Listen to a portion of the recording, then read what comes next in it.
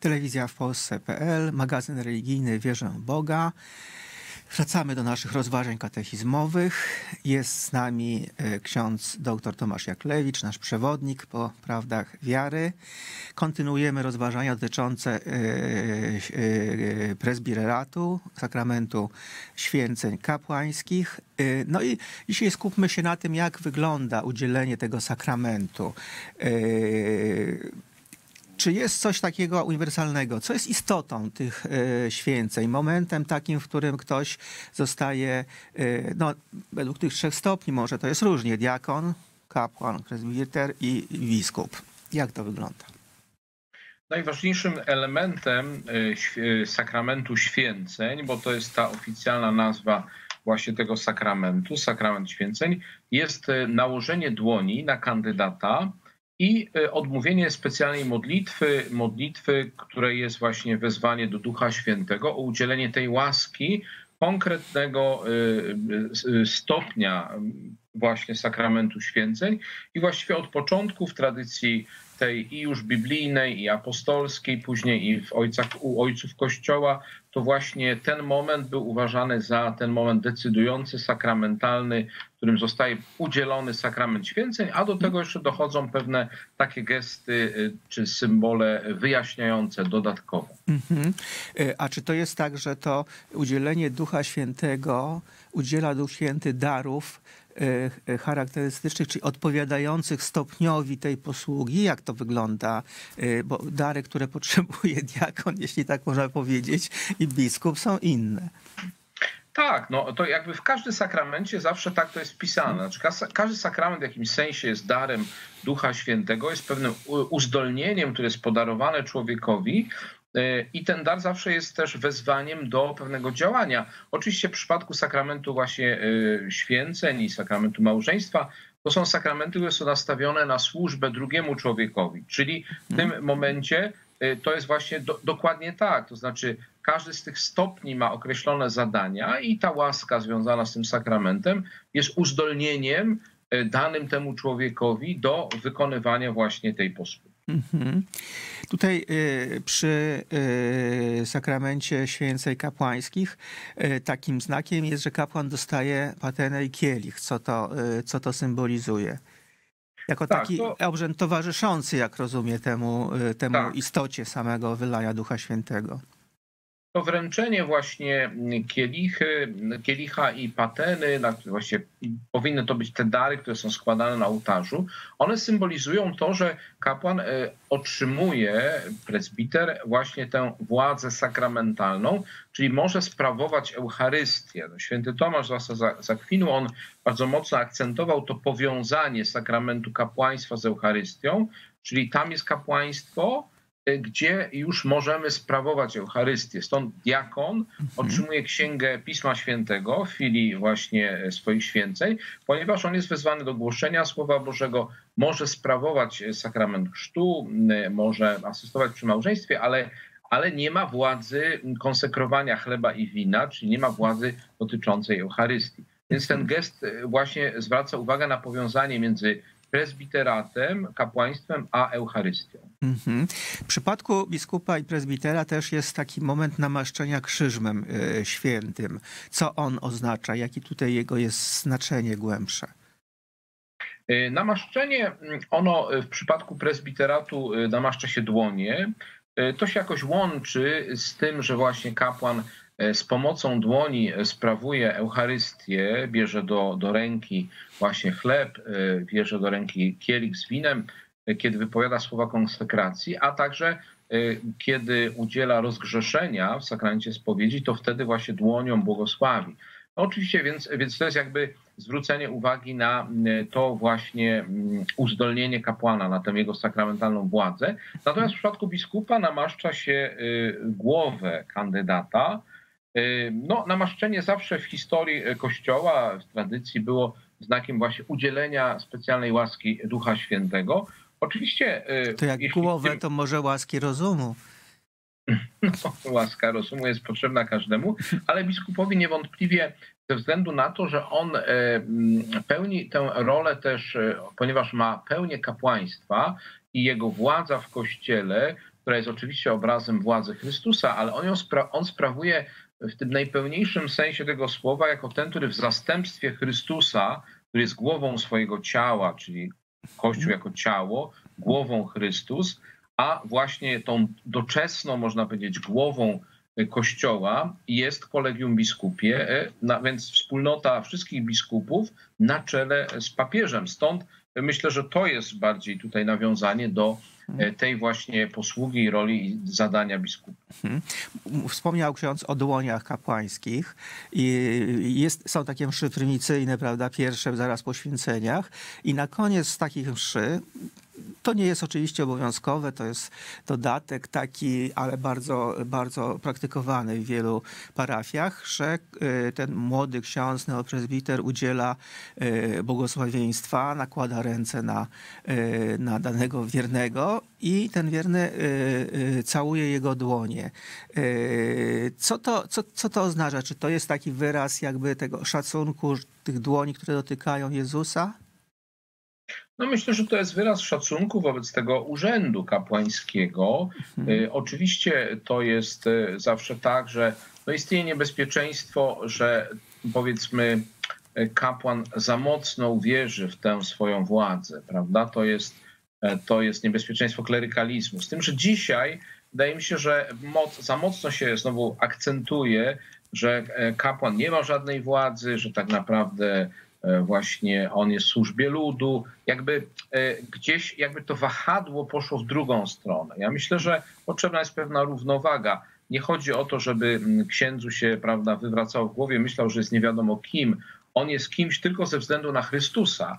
I musi o tym pamiętać, że jego kapłaństwo jest w służbie kapłaństwa powszechnego, e, ludu Bożego. On jest po mhm. to, żeby ludziom dawać Chrystusa, a nie siebie. Natomiast no, ten szacunek dla pewnego urzędu, autorytetu, który wyraża kapłaństwo, autorytetu Chrystusa, wydaje mi się, że pewne oznaki tego szacunku, no nie trzeba koniecznie z nimi wszystkimi walczyć, bo one mają swój głęboki sens wpisany w wiarę Kościoła. No ale to może jakby trochę jest tak, że kapłani y, są sobie y, sami winni, dlatego że no, jest taka y, tendencja, że jak kapłan otrzyma święcenia, zostanie księdzem, to myśli, że już właściwie może wszystko robić, łącznie z lataniem samolotem. I jakby no, kapłani często właśnie na, na wyrost zajmują się rzeczami świeckimi, a e, tak naprawdę no, powinni być specjalistami, mistrzami e, i autorytetami w posłudze duchowej. I, i, I, stąd jakby teraz ta tendencja, żeby ten klerykalizm, czyli żeby ksiądz zajmował się tym, co, do czego jest powołany, a nie innymi rzeczami, jak to często obecnie no, bywa. No tak, tylko że ja uważam, że ważniejszym problemem dla kościoła współczesnego jest sekularyzacja wewnętrzna mm -hmm. kościoła, a nie kleryk, a nie klerykalizm. Mhm. Dlatego, że jeśli popatrzymy na to, co się dzieje w kościołach zachodnich, gdzie tą walkę z klerykalizmem toczono powiedzmy bardzo konsekwentnie, e, no to w tej sytuacji, te, teraz mamy taką sytuację, że w ogóle nie ma księży. Także chodzi o to, żeby nie wylać dziecka z kąpielą. Mhm, mhm. Jeśli młody człowiek e, cały czas słyszy, że kapłaństwo nie jest aż tak ważne i nie jest tak bardzo potrzebne i nie ma takiej wielkiej roli i tak dalej, czy się pomniejsza znaczenie tego urzędu, mhm. Ale jeżeli ja mam oddać poprzez celibat także całe życie moje tej służbie i ktoś mi cały czas mówi w kościele, że to nie jest takie ważne, to po co ja mam oddawać swoje życie? To dlatego seminaria są teraz puste. Także metoda y, walki z klerykalizmem, y, tak radykalna, którą widzieliśmy na Zachodzie i która dzisiaj jest cały czas też preferowana ewidentnie przez papieża, no wydaje mi się, że przy, znaczy daje skutki odwrotne. Znaczy, no, po prostu wtedy nie będzie w ogóle księży. No i mamy walkę z klerykalizmem wygraną, no ale to jest przecież przegrana nas, nas wszystkich, jeśli nie będzie ludzi gotowych y, oddać swoje życie w 100% Chrystusowi. Hmm. Nie będzie mszy, nie będzie rozgrzeszenia. No to jest jakby, tu trzeba zobaczyć to w większej całości. Hmm. Diakon. Diakon w momencie tych święcej też otrzymuje y, Księgę Ewangelii. Y, na co to wskazuje, jeśli chodzi o jego posługę?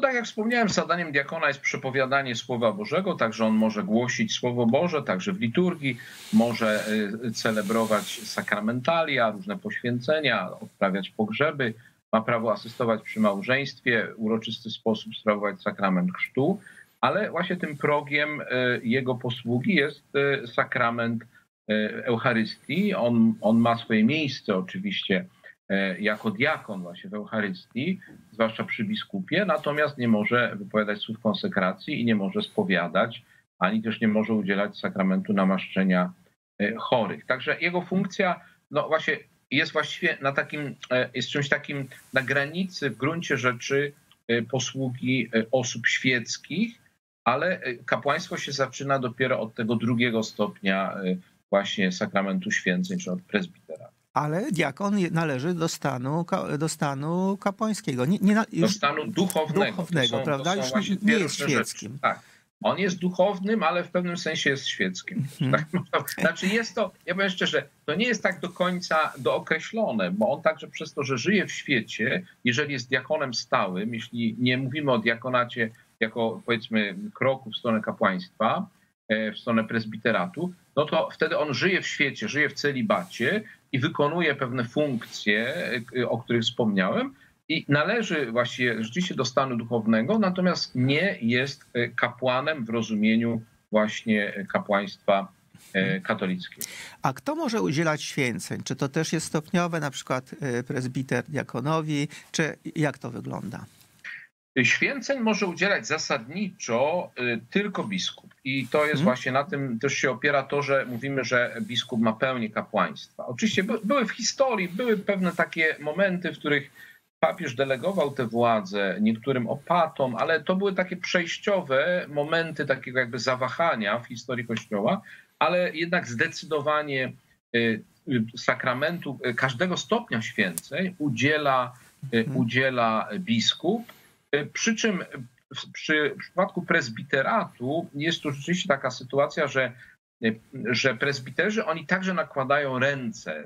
Widzieli, o, widzieliśmy też, czy widzimy takie właśnie obrazki, gdzie prezbiterzy także nakładają ręce na kandydata, mhm. ponieważ oni stanowią kolegium razem z biskupem, ale to mhm. Biskup ma tę władzę wypowiadania tej modlitwy, która, mhm. e, tej modlitwy, która, przez którą właśnie zostaje udzielony E, sakrament święcy. Mhm. I tak samo jest w przypadku diakonatu, wtedy tylko biskup udziela diakonatu, a w przypadku święceń e, biskupich wszyscy biskupi obecni w czasie celebracji. Mhm. Też takie mam pytanie, bo no, kapłan jest, e, jakby powinien być takim wzorem, świadectwem życia Ewangelią, yy, mieć dobrą nowinę. Czy ten sakrament w jakiś sposób, sakrament święceń, chroni od słabości, błędów, grzechów? No żaden sakrament oczywiście nie chroni nas w takim sensie, że jesteśmy jakby wolni od pokus, wolni od walki. Każdy z nas pozostaje słabym, grzesznym człowiekiem, i to jest też widoczne no, chociażby w historii świętego Piotra, prawda, który rozumie, że sam musi być pierwszym, który doświadczy Bożego przebaczenia, przebaczenia, którego Jezus e, dokonał, e, także wobec Niego, kiedy się go zaparł trzykrotnie i właściwie mhm. dopiero wtedy jest gotowy, jakby przećwiczony przez własną upadek, doświadczawszy upokorzenia przez własną słabość, on rozumie, że on nie może budować na sobie. I to i w tym sensie nasze też słabości księży, one, one w nas są. To znaczy my się także spowiadamy, no, także jesteśmy jako ochrzczeni, toczymy tę samą walkę. Natomiast oczywiście, że ta posługa, ona, y, ona nas też uświęca, tak jak małżeństwo powinno uświęcać małżonków. Także to jest także droga do osobistej świętości, ale na pierwszy plan wysuwa się to, aby właśnie być y, wobec ludzi, no być tym alter Christus, to oczywiście, mhm. że to jest w momencie sprawowania sakramentów, jako drugi Chrystus, kiedy użyczam swoich słów do wypowiadania słów konsekracji, innych sakramentów. Natomiast jest to, jest to wpisane także wezwanie do mhm. mojego osobistego życia, żebym e, swoimi grzechami jakoś nie stawał się gorszycielem, ale wręcz przeciwnie, poprzez osobistą świętość ukazywał także piękno Chrystusa. Bardzo dziękuję księdzu za e, rozmowę. Dziękuję państwu. Dziękuję. Zapraszam oczywiście za tydzień o tej samej porze.